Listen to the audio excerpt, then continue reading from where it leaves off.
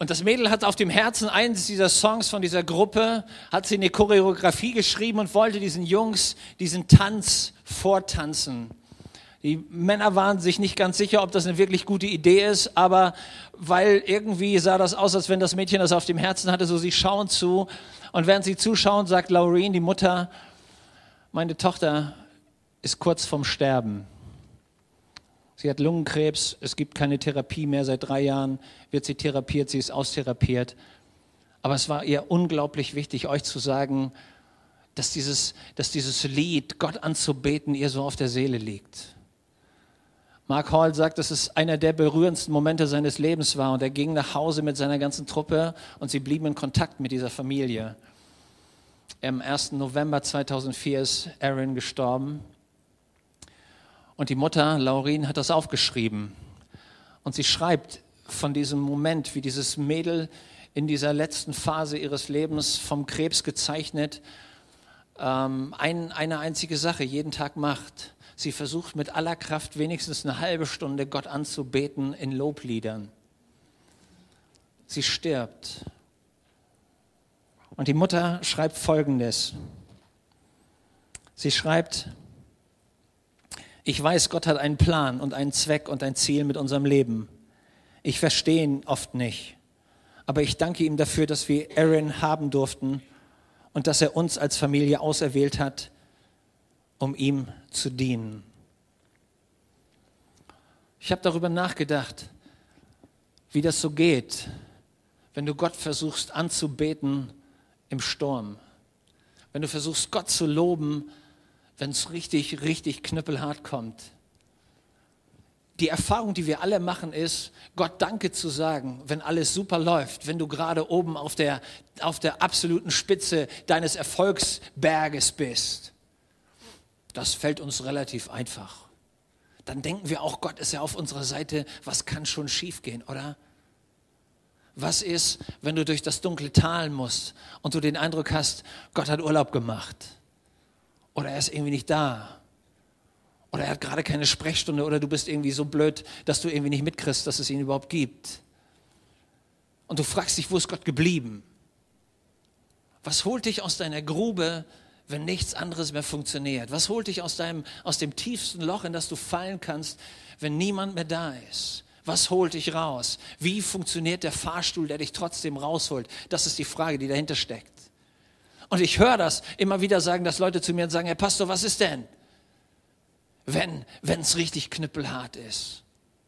Wieso ist Gott denn nicht so, dass er es einfach in unserem Leben locker laufen lässt? Dass es einfach immer vor sich hinläuft und alles ist cool und alles ist gut. Dann hätten wir doch alle wirklich Grund, Gott zu loben, oder? Leute, ganz ehrlich, Deutschland geht es so gut wie fast keinem anderen Land in der Welt. Überall bricht die Ökonomie mehr oder weniger stark zusammen, bei uns in Deutschland nicht. Erlebst du, dass Deutschland auf die Straße rennt, die Arme hochreißt und sagt, Halleluja, danke Gott, dass es uns so gut geht? Nee, es passiert nicht. Leute, ganz offensichtlich scheint das kein Automatismus zu sein. Nur weil es uns gut geht, lernen wir Gott anzubeten. Deswegen gibt es auch keinen Automatismus, nur weil es Leuten schlecht geht, müssen sie nicht beten lernen. Das stimmt nicht. Aber wenn du was entdecken willst, was dich richtig weiterbringt, dann ist es zu entdecken, wie gebe ich Gott Lob, wenn ich richtig durchs dunkle Tal gehe. Das ist das Geheimnis. Und auf die Frage, wieso lässt Gott das zu, gibt es eine erschreckend simple Antwort. Stell dir vor, du hättest ein kleines Kind. Du bist ein Papa und du hast ein kleines Mädchen bekommen. Und dieses Mädel ist dein Augenstern, ist dein Sonnenschein. Und weil du ein Papa bist, möchtest du gerne, dass dieses Kind nie irgendwas Böses erlebt. Also was machst du als kluger Papa? Du kaufst dir diese komischen Tragesäcke. Kennt ihr die? Diese Kängurusäcke, die man hinten aufbindet anstatt vorne. Ja? So, du hast dir so einen, so einen komischen Kängurusack gekauft. Und da packst du dein kleines Mädchen rein. Weil was möchtest du nicht? Du möchtest nicht, dass ihr was passiert. Du möchtest nicht, dass sie sich irgendwie die Knie aufschrammt. Du möchtest nicht, dass irgendein böser Mann ihr irgendwas tut. Also nimmst du als Papa die Herausforderung und du trägst sie hin, wo immer du kannst. Hey, du bist ein cooler Papa. Und solange deine kleine Tochter ein halbes Jahr alt ist, ist auch kein Problem. Nur als sie 15 wird, merkst du, das tut im Rücken weh. Und als sie 25 geworden ist, denkst du, ich sollte irgendwas anderes machen. Mit 35 stellst du fest, dass du irgendwas falsch gemacht hast. Sie hat sich zwar noch nie die Knie aufgeschlagen, aber ehrlicherweise kann sie gar nicht selber laufen. Was hast du irgendwie vor lauter Vaterliebe falsch gemacht? Du hast vergessen, dass es zum Wachsen und zum Leben gehört, dass wir uns Herausforderungen stellen müssen. Du hast vergessen, ihr beizubringen, wie man läuft. Du hast vergessen, dass zum Laufen das Hinfallen und Wiederaufstehen dazugehört. Du hast vergessen, ihr klarzumachen, das Leben, was mit Entwicklung und mit Hinfallen und Wiederaufstehen und Hinfallen und Wiederaufstehen und Hinfallen und Wiederaufstehen zu tun hat. Und am Ende hast du deiner kleinen Tochter keinen Gefallen getan, sondern du hast sie zum Krüppel gemacht. Und weil Gott dich nicht zum Krüppel machen will, lässt er Herausforderungen in deinem Leben zu. Lässt er Schübe des Wachstums zu. Lässt er zu, dass die Dinge nicht einfach immer nur toll laufen, sondern du tatsächlich auch lernst, in deinem Charakter zu wachsen. Und wir wachsen mit Herausforderungen. Stimmt's? Das ist der Grund, warum Gott nicht automatisch immer nur alles glatt laufen lässt sondern er lehrt dich etwas. Und er nimmt dich mit rein in seinen Plan. Und er will, dass du am Ende eine starke Persönlichkeit bist. Das ist der Grund, warum Gott uns dieses Geheimnis von Lobpreis entdecken lässt. Übrigens, liebe Freunde, das hat mich aufgebaut. Was werden wir irgendwann im Himmel machen? Interessanterweise nicht jammern und meckern. Das haben wir in, auf der Erde gelernt. Ja? Aber komischerweise brauchst du das nicht lernen, weil das brauchst du nachher nicht mehr. Und eine Sache, die habe ich in der Schule gelernt. Ich habe mich immer geärgert, dass man so viel Zeug lernen muss, das man nachher nicht braucht. Und Gott ist clever und sagt dir von vornherein, gewöhne dir das Meckern und Jammern nicht an, du brauchst es nachher nicht mehr. Im Himmel gibt's das nämlich alles nicht, sondern im Himmel gibt's eine einzige Geschichte. Und die nennt man Lobpreis. Hey. Lobpreis bedeutet, du schaust von dir selber weg und schaust den an, für den alle Dinge möglich sind. Und Gott hat das gesagt. Hey, hast du die Psalmen gelesen? Psalm ist dieses Liederbuch in der Bibel. Und da steht ein ganz cooles Lied drin, das ganz am Ende allerdings. Also du musst dich schon bis zu 150 durchrobben. Wenn du vorne stehen bleibst, kommt das noch nicht. Aber 150, da kommt es. Da heißt es, alles, was Atem hat, lobe den Herrn. Solltest du jemand sein, der ab und zu atmet, auch als wenn du als Kiemenatmer geboren wurdest, ja? Völlig egal. Aber solltest du atmen können, hast du eine von Gott gegebene Verpflichtung.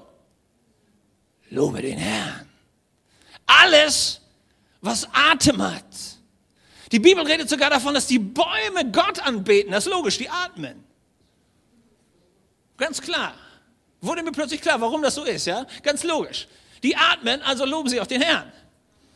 Du kannst atmen. Also was solltest du tun? Lobe den Herrn. Die Frage ist ja, wann soll ich das machen?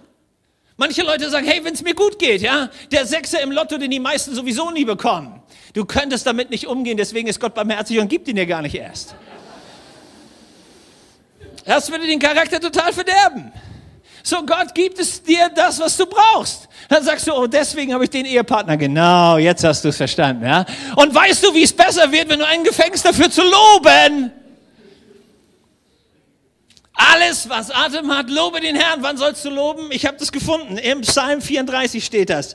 Da steht, sein Lob soll alle Zeit in meinem Mund sein. Sein Lob soll wie oft in meinem Mund sein? Alle Zeit. Wann ist denn alle Zeit? Jetzt, immer, wann immer es kommt, fang an Gott zu loben. Da steht nicht, wenn du dich gut fühlst, dann würdest du nie loben. Da steht auch nicht, wenn du gut aussiehst, da brauchen einige gar nicht erst anfangen. Das, das steht da alles nicht, sondern da steht immer da. Halleluja, hör mal.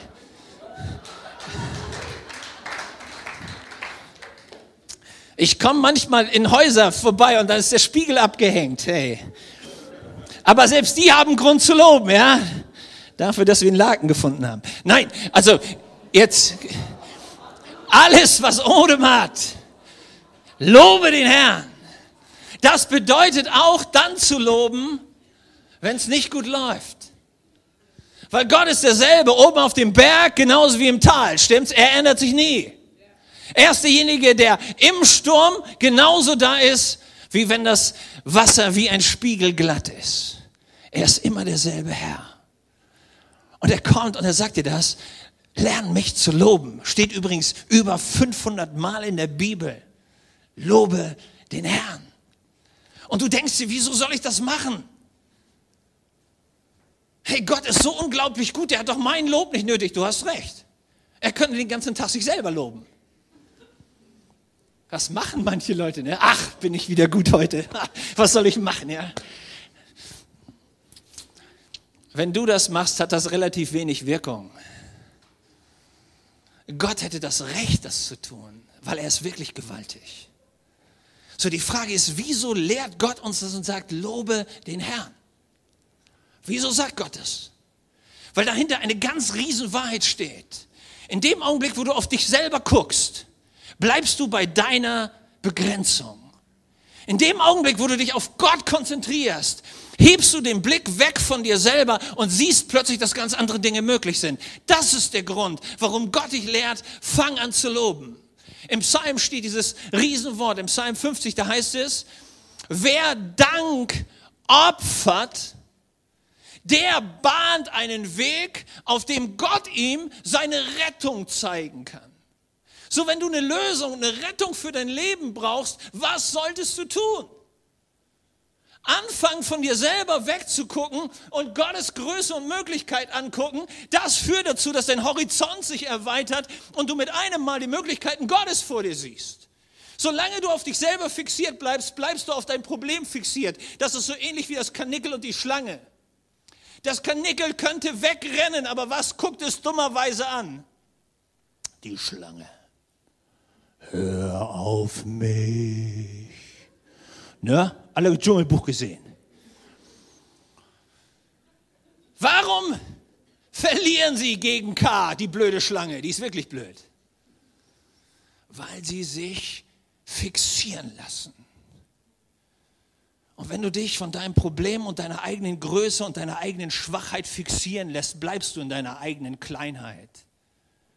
Und das ist der Grund, warum Gott sagt, hey, schau weg von dir selber und fang an, die Größe Gottes anzugucken und du bekommst einen lösungsorientierten Denkansatz. Und da will Gott mit dir hin dass du anfängst, seine Lösung zu sehen. Leute, ganz ehrlich, manche Leute kommen zu mir und erzählen mir, wissen Sie, Herr Pastor, ich bin richtig krank. Dann sage ich, na und? Das hilft Ihnen doch nicht, oder? Also zu viel Analyse führt am Ende zu Paralyse. Also auf Deutsch, wenn du dich immer nur mit deinem Problem beschäftigst, musst du dich nicht wundern, wenn du irgendwann gelähmt bist. Vor lauter Angst und vor lauter Panik. Das bringt dich doch keinen Meter weiter. Nur das Problem anzugucken und genau zu wissen, warum du ein Problem hast, was hat dich das denn vorwärts gebracht? Hurra, wir haben ein Problem. Wir sind deutsch, dann fühlen wir uns irgendwie besser. So was Blödes. Das Problem anzugucken bringt dich doch nicht weiter, sondern die Lösung anzugucken bringt dich weiter. Und deswegen ist Gott immer an deiner Lösung interessiert. Und deswegen sagt er immer zu dir, hör auf, auf dich selber zu gucken und guck mich an. Sagt meine Frau zu mir übrigens auch immer. Und ich sage dir, das hilft. Es verändert die Perspektive. Und bei Gott ist es genauso. Und du bist gut beraten, wenn du tust, was er sagt. Er sagt dir, fang an, mich anzuschauen. Und plötzlich erweiterst du deine Möglichkeiten, weil bei Gott sind tatsächlich alle Dinge möglich. Das wirst du nie rauskriegen, wenn du bei dir selber bleibst. Das ist der Grund, warum Gott dich lehrt, zu loben. Und es gibt einen riesen Ansatz in der Bibel und der, den findest du immer wieder. Da sitzt ein Typ ganz tief drinne in einer Grube. Da haben ihn ehrlicherweise seine eigenen Brüder reingeworfen. Der Mann heißt Josef. Und Josef weiß, das ist die Todesgrube. Da kommt er alleine nicht raus. Und er weiß auch, dass die Brüder einen einzigen Gedanken haben, ihn fertig zu machen. Wie kommt er raus? jetzt die Insider unter uns, also die mindestens schon halbes theologisches Studium hinter sich haben, im Gottesdienst in der Regel nicht geschlafen haben, wie kommt er raus? Die Bibel sagt, es zieht ihn Juda raus. Und jetzt die Fachleute unter uns. Außer Magda, die weiß das schon. Was heißt Juda auf Deutsch? Lobpreis. Lobpreis zieht ihn aus der Grube. Hier ist das Geheimnis. Lobpreis zieht dich aus der Grube. Denk nach. Da liegt ein geistliches Prinzip und das ist die Ersterwähnung. Und wenn du in der Bibel irgendwas von Ersterwähnung hörst, dann verzieht sich das wie ein Muster durch die Bibel.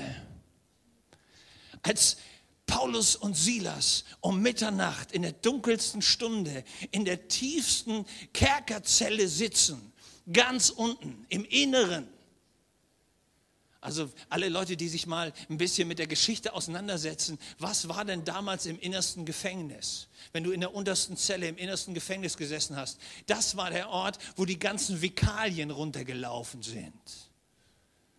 Dann hast du wirklich im wahrsten Sinne des Wortes in der Scheiße gesessen. Da sitzen die beiden angeflockt mit den Füßen und den Händen. Nur, dass du dir die, die, die Situation mal vor Augen malst. Da sitzen sie, verprügelt, ihr Rücken ist wirklich platt gehauen. Die Jungs haben richtig Schmerzen.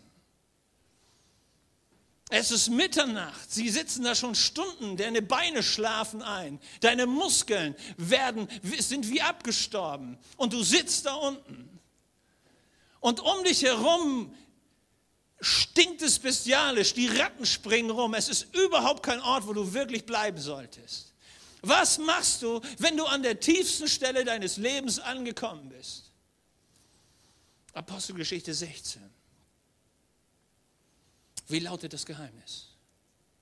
Um Mitternacht aber begannen Paulus und Silas Gott zu loben und alle Gefangenen hörten das als es richtig übel drauf ist, als es so dunkel ist wie nur möglich, als es so tief ist, wie es tiefer nicht gehen kann, begreifen diese beiden Leute plötzlich, wenn wir jetzt den Fahrstuhl nicht zünden, bleiben wir hier unten.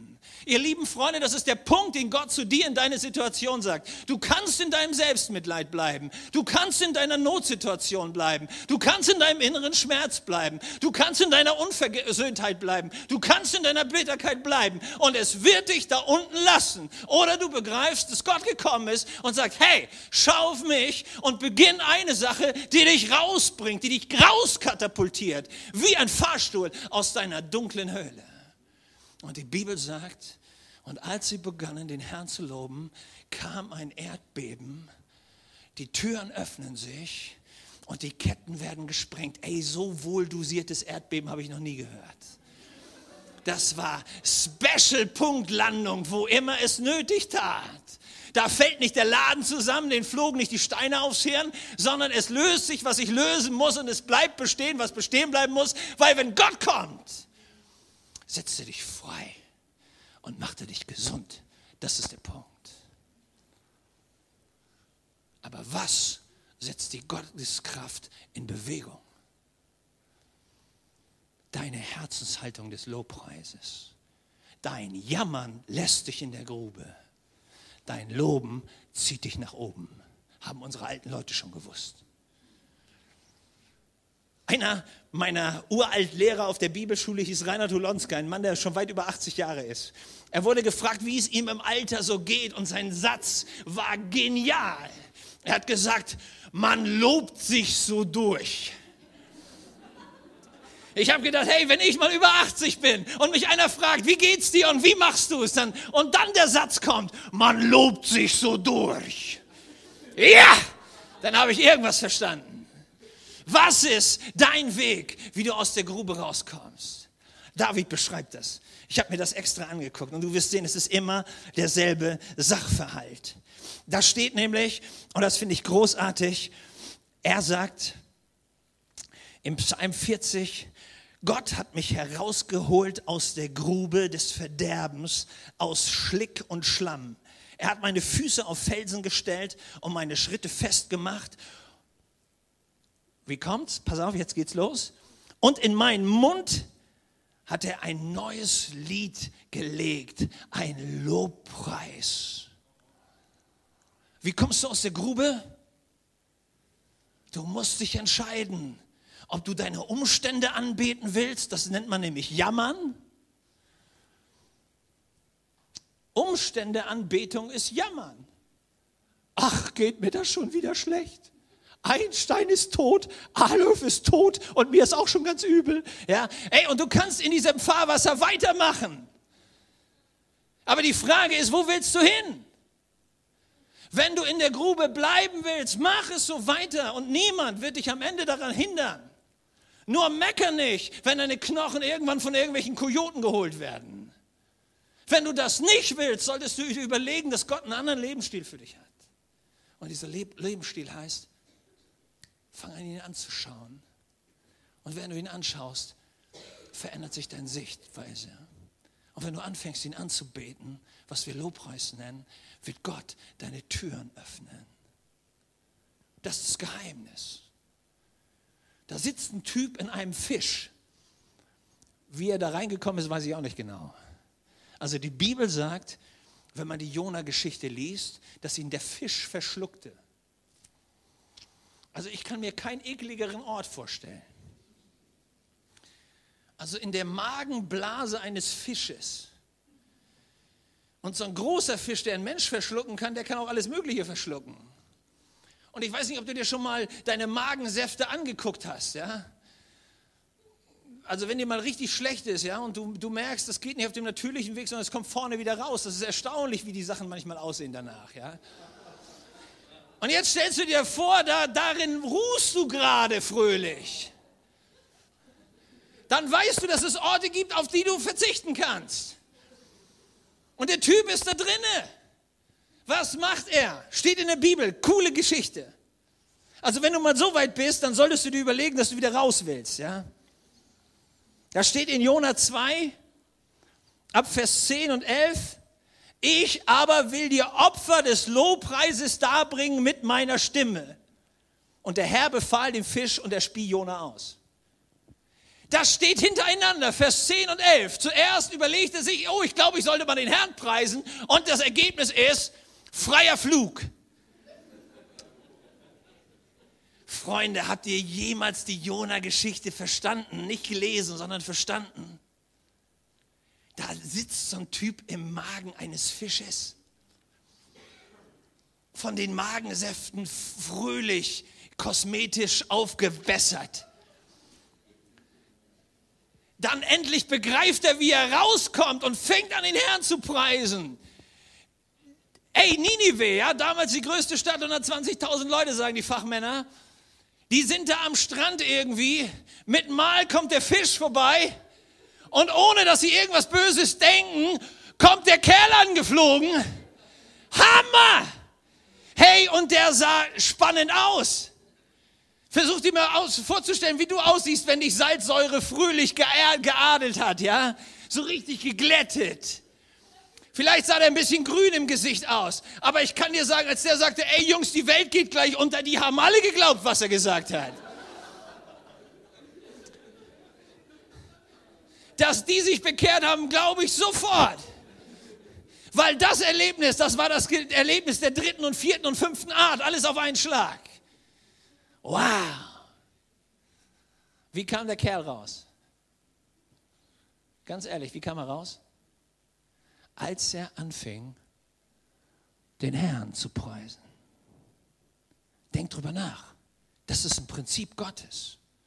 Wenn du raus willst, aus welcher Grube auch immer, wird dich dein Jammer nicht rausbringen, dein Umstände anbeten nicht rausbringen, deine Bitterkeit nicht rausbringen, deine Warum-Fragen bringen dich nicht raus, aber Lobpreis bringt dich raus. Hochspannend. Lobpreis bringt dich raus. Da gibt es einen Mann in der Bibel, der mich immer wieder erschüttert. Dieser Mann heißt Hiob.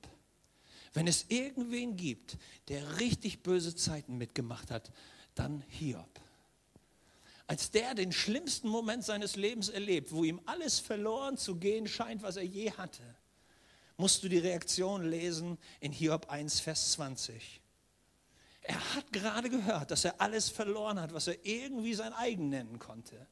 Und seine Antwort ist, und Hiob fiel auf sein Angesicht und betete den Herrn an. Das ist das Geheimnis, warum der Mann am Ende doppelt so viel wiederbekam, wie er je verloren hatte. Er hätte auch bei seinem Verlust bleiben können. Aber er wusste, dass der Weg raus aus der Grube über Lobpreis führt indem ich beginne, die Möglichkeiten Gottes anzuschauen, indem ich beginne, die Größe Gottes anzuschauen, indem ich mich selber wegbringe von meiner Begrenzung und hinschaue auf seine Möglichkeiten. Das bringt dich raus aus egal welcher Lebenssituation. Ich weiß nicht, ob du den Bericht am 19. April 2014 gelesen hast. In der Bildzeitung, richtig großer Artikel. Warum habe ich das gelesen? Weil jemand aus der Gemeinde freundlich war und mir den Artikel vorbeigebracht hat und gesagt, Matthias, das musst du lesen. Bildzeitung ist nicht so richtig meine Zeitung. Ja? Warum habe ich den Artikel gelesen? Weil er mich fasziniert hat. Ein zehnjähriger Junge, Willie Meyer in Atlanta, spielt vorne im Vorgarten, plötzlich hält ein Auto und er wird gekidnappt. Die Polizei wird eingeschaltet, man sucht den Jungen, man findet ihn nicht. Am Abend bekommt die Familie einen Anruf und sie können ihren Sohn abholen. Was ist passiert? Während der Junge von diesem Mann gekidnappt wurde, einem Mann, der später gefunden wurde, sitzt er in dem Auto und der Mann hat zu ihm gesagt, hey, wenn du irgendwie deinen Mund aufmachst, das ist der letzte Moment deines Lebens als er über eine Stunde in diesem Auto sitzt, erinnert sich der Junge an die Sonntagsschule, in die er geht. Und er singt folgendes Lied. Ich lese das aus diesem Bericht vor. Willie Meyer liebte Gospelmusik und in seiner Verzweiflung begann er ein Kirchenlied, Every Praise, zu singen. Der Song brachte die überraschende Wende. Der Entführer stieß den Viertklässler plötzlich aus dem Wagen und fuhr davon. Nachdem der Junge in der fremden Stadt an einigen Haustüren geklopft hatte, ließ ihn ein älterer Mann rein und so weiter und so weiter und so weiter. Das, was in diesem Bericht so unglaublich hammerhart rüberkommt, ist, dass sich die Leute gefragt haben, wieso hat der Entführer ihn freigelassen? Und du und ich, die wir Menschen sind, die ein, ein wenig was von geistlichen Prinzipien verstanden haben, die verstehen, was hier passierte. Was war der Schlüssel, dass der Junge aus seinem Gefängnis freikam? Er öffnete die Tür zum Übernatürlichen, indem er anfing, Gott zu preisen. Das ist das Geheimnis, das Gott dir und mir gibt. Er gibt dir die Möglichkeit, den Teufel regelrecht zu schocken. Weil was ist die normale Reaktion, die man eigentlich bei Menschen erwarten sollte, die gerade richtige Schwierigkeiten haben? Was ist das Normale, wovon wir ausgehen, wenn du mit einem richtig fetten Problem konfrontiert wirst? Was ist unsere normale Reaktion? Die erste Reaktion ist immer, wieso trifft das mich und nicht den Nachbarn? Nicht unbedingt freundlich die Reaktion, aber das ist unsere. Wieso trifft es mich? Das zweite, warum ist das so böse zu mir? Und wir drehen uns in diesem Fahrwasser des Selbstmitleides. Und dann gibt es Leute, die völlig anders reagieren und sagen, hey, Problem, wenn du zu mir kommst, legst du dich mit meinem Gott an und nicht mit mir. Und Lobpreis reicht das Problem an die richtige Stelle weiter. Nochmal. Lobpreis reicht das Problem an die richtige Adresse weiter. Das ist das Geheimnis. In meiner, in meiner Sonntagsschulzeit habe ich mit meinen Kindern ein Lied geübt. Das ging so. Mein Gott ist so groß, so stark und so mächtig, unmöglich ist nichts meinem Gott. Und Eltern, die fromm drauf sind, die bringen sogar so ein frommes Liedchen ihren Kindern bei. Wisst ihr, was das Coole ist? Wenn wir als Eltern das glauben würden. Manchmal solltest du dir selber dieses schöne Weihnachtslied wieder vorsingen. Mein Gott ist so groß. Ich glaube, das ist eines der schönsten Weihnachtslieder, die es gibt. Weil wenn du verstehst, mit was für einem Gott du zu tun hast, dann hörst du auf zu jammern. Dann hörst du auf, deine Umstände anzubeten. Sondern dann begreifst du, das Geheimnis beginnt, wenn ich lerne, meinen Blick auf den zu richten, für den es kein Problem gibt, dem alle Dinge möglich sind. Und hier liegt ein Geheimnis. Im zweiten Chronikerbuch, 20. Kapitel, gibt es eine Riesengeschichte. Da gibt es ein Volk, das nennt man Israel. Und die werden von Feinden bedroht. Und jetzt betet der König. Und wenn der König betet, übrigens, so löst man Probleme, man fängt an zu beten. Und dann holst du dir die Lösung, indem du Gott fragst. Ist übrigens bei Krankheiten auch so. Wenn dir deine Diagnose nicht gefällt, such dir eine zweite Meinung. Deswegen beten wir und fragen den Chef, stimmt's? Nicht, weil wir Ärzte nicht mögen, sondern wir suchen uns eine zweite Meinung von einem größeren Spezialisten. Das ist der Grund, warum du betest. Du suchst dir die zweite Meinung und sagst, lass mal gucken, was der Chef darüber denkt. Und dieser Mann ist Joschafat. Und er sucht sich die zweite Meinung. Und der Chef sagt zu ihm, hey mein Freund, ich habe für dich die Gewinnerlösung. Und die Gewinnerlösung geht, die Feinde sieht folgendermaßen aus. Zuerst schickst du die Musikanten nach vorne und danach kommt die bewaffnete Armee. In dem Punkt spätestens hätte ich als Lobpreiser meinen Job zur Verfügung gestellt. Ey, ehrlich, Du kannst das als Keule gebrauchen, ja. Aber wenn einer mit einem Panzer auf dich zukommt, ist das eine hoffnungslose Übung. Und ich weiß nicht genau, was die Lobpreiser sich gedacht haben, ob sie überhaupt was gedacht haben. Das ist ja nicht grundsätzlich für Lobpreiser so, ja, aber in der Situation habe ich mich das ernsthaft gefragt. Du siehst, wie da hunderttausende Feinde angerückt kommen, in voller Kampfmontur. Und du kommst mit der Harfe. Bring, bring. Ja, hey, Leute, wen willst du auf den Arm nehmen, ja? Und ich weiß nicht, ob die Feinde sich tot gelacht haben, aber irgendwie hat es funktioniert. Das ist, so, das ist so irre, weil das überhaupt nicht unserem Erfahrungshorizont entspricht. Also normalerweise muss man Waffen gegen Leute einsetzen, die bewaffnet sind. Und Gottes Strategie ist anders. Er sagt, Leute, ihr habt das noch nicht verstanden. Du kämpfst letztlich nicht gegen Fleisch und Blut, sondern du kämpfst gegen Mächte des Finsteren. Und gegen übernatürliche Mächte musst du übernatürlich kämpfen und nicht bei deiner Begrenzung stehen bleiben. Das ist der Grund, warum Gott dich lehrt, Lobpreis zu gebrauchen. Das ist das Geheimnis. Und du kannst immer bei deiner menschlichen Sichtweise stehen bleiben, bei deiner natürlichen, äh, verstandesmäßigen, genauen Analyse des Problems. Und das bringt dich keinen Meter vorwärts. Oder du entscheidest dich irgendwann und du springst auf Gottes Lösung.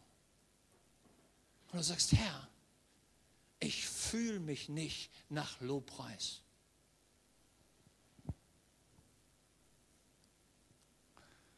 Also soll ich euch was Ehrliches sagen? Ich fühle mich auch nicht nach Lobpreis.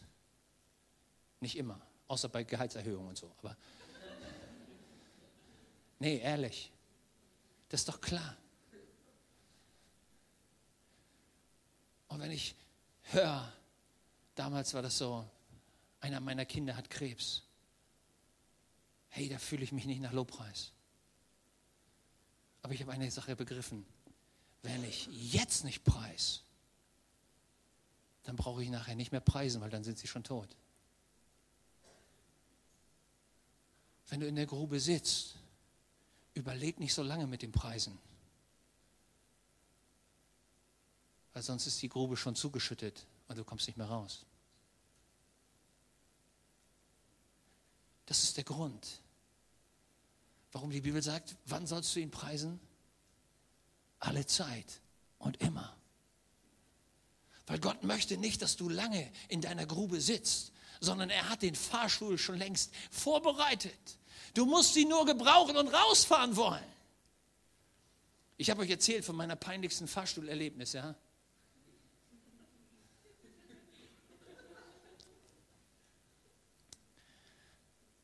Ich war in einer Großstadt und ich war zu spät. Und plötzlich fällt mir ein, dass ich mein, mein eigentliches Predigtmanuskript vergessen habe. Und ich ras wieder zurück, nehme den Fahrstuhl, ras hoch, hol mein Zeug, springe in den Fahrstuhl, will runter. Das Ding fährt runter und öffnet sich nicht. Ey, wenn du richtig Zeitdruck hast, ja, und der Fahrstuhl öffnet sich nicht. Es gibt so Situationen, die sind nicht schlimmer. Und hätte ich einen Vorschlaghammer gehabt, ich hätte das ganze Ding auseinandergelegt. Aber weil ich glücklicherweise keinen hatte, habe ich meinen Schuh genommen. Ja? Und meinen Fuß, ey. Und dann staunst du, was du alles für Worte plötzlich dir wieder einfallen aus den alten Zeiten. Ja? Das ist erstaunlich, wozu man plötzlich wieder fähig wird. Ja? Hey, und wenn ich da wirklich mich an diesem elenden Gerät abarbeite, höre ich plötzlich Stimmen hinter mir. Ich dachte, ey, jetzt ist alles zu spät. Ich bin völlig überarbeitet. Ja, ich höre schon Stimmen. Und die Stimmen sagen zu mir, drehen Sie sich mal um. Und ich drehe mich um und dann stehen da so elf Leute, ja, völlig verschüchtert. Und ich merke plötzlich, Mist, das ist so ein Fahrstuhl, wo beide Seiten aufgehen können. Ja. Es war absolut meine Katastrophennummer. Ja.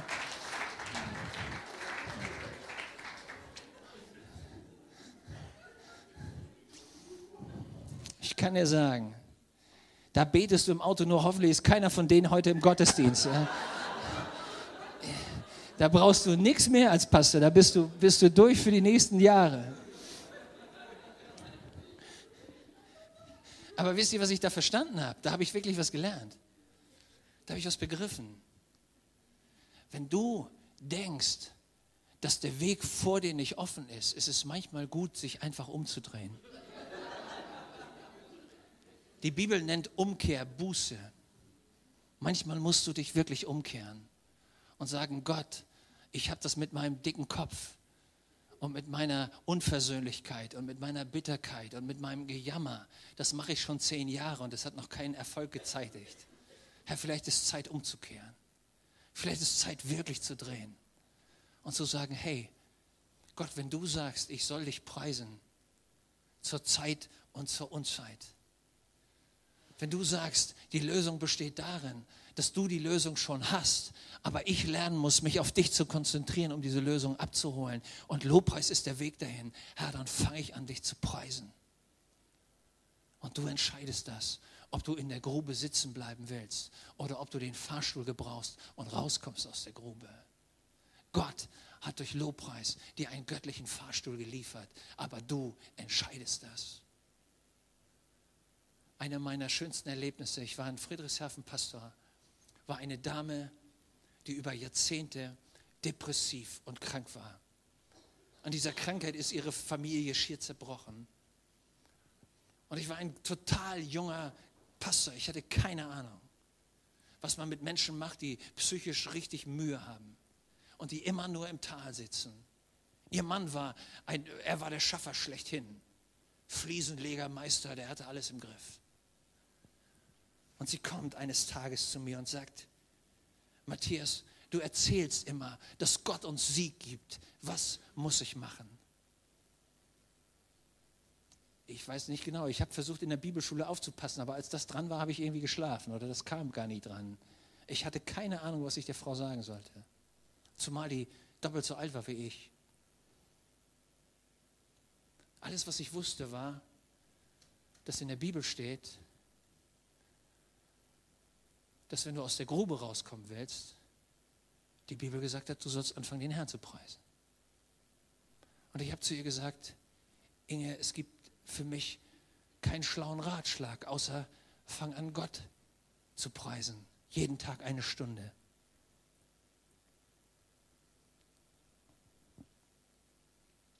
Das klang jetzt nicht besonders toll.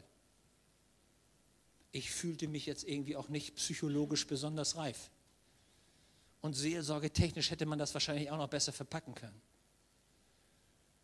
Aber ich wusste es nicht besser, weil das war das, was in der Bibel drin stand. Eines Nachmittags bin ich unten bei uns im Gemeindehaus und es gibt so komische Geräusche aus dem Heizungskeller. Und ich denke, Mensch, geh mal lieber gucken, bevor da irgendwas passiert. Und ich mache die Tür zum Heizungskeller auf und ich sehe Schwester Inge. Sie läuft im Heizungskeller immer im Kreis.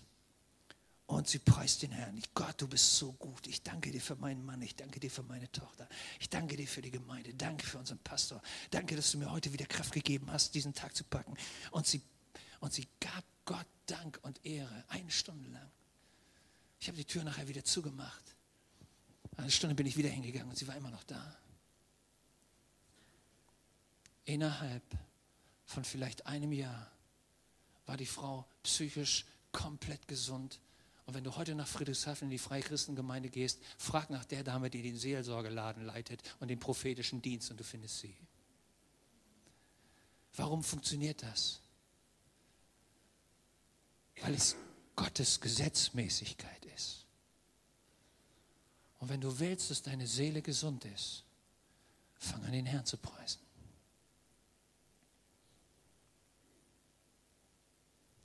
Stimmt's?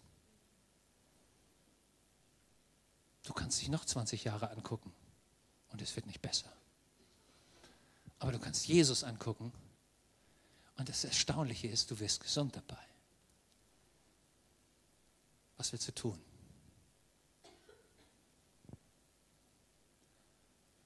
Heute Abend stehst du hier und du kannst dich an deinem Stolz festhalten kannst sagen, nee, das meine ich. Was soll sich denn verändern, nur weil ich anfange, Gott die Ehre zu geben? Nee. Da gehe ich lieber genauso sauer wieder nach Hause. Herzlichen Glückwunsch. Das war nicht besonders schlau, aber Sie dürfen das gerne machen. Oder du kannst sagen, ich habe was verstanden. Ich will lernen, im Übernatürlichen zu leben. Ich will lernen, im Übernatürlichen zu leben. Und ich entdecke, dass nicht ich der Maßstab bin, sondern dass Gott der Maßstab ist. Und wenn Gott kommt, macht er dich mächtig und nicht schmächtig. Habe ich gelernt heute. Gott macht dich mächtig und nicht schmächtig. Auf Deutsch, er macht dich stark. Aber wie kommst du raus? Durch Lobpreis. Lobpreis mitten im Sturm. Lobpreis mitten in der Grube. Lobpreis mitten in deiner Krankheitsdiagnose. Lobpreis mitten in deiner Prüfungsangst. Lobpreis mitten in deiner Ehesituation. Lobpreis fängt an, Gottes Möglichkeiten freizusetzen. Ich möchte dich einladen. Die Lobpreiser kommen gleich. Und dann kommst du. Und vielleicht musst du sagen, Gott, gejammert habe ich lange genug. Geklagt habe ich auch lange, genug. Die Umstände als solche angenommen habe ich auch lange genug. Ich will lernen heute, dich anzubeten. Ich will lernen zu sagen, Gott, du bist größer als meine Krankheit. Gott, du bist größer als meine innere Not. Gott, du bist größer als meine Angst. Gott, du bist größer als meine Zwänge. Gott, du bist größer als all meine inneren Vorbehalte. Gott, du bist größer als alle meine Zweifel. Gott, du bist größer. Und du besteigst diesen Fahrstuhl nach oben. Und der Heilige Geist kommt. Und er setzt dich frei. Das kannst du machen, während du auf deinem Platz bist. Und wenn du sagst, ich brauche jemanden, der mir Gottes Kraft und Gottes Segen zuspricht, dann kommst du nach vorne, das ist auch in Ordnung. Aber jetzt kommt der Punkt, wo du aus deinem Boot raussteigst und in das Übernatürliche einsteigen kannst. Jetzt kommt der Punkt, wo du aus dem Zuhörer und Zuschauer zum, zum bewussten Überwinder wirst. Jetzt kommt der Punkt. Und Gott ist hier mit seinem Heiligen Geist. Das war sein ganzes Anliegen heute, dir diesen Punkt klar zu machen und dich zu einem Überwinder zu machen, dich zu jemandem zu machen, der sich drüber wegsetzt. Mitten im Sturm.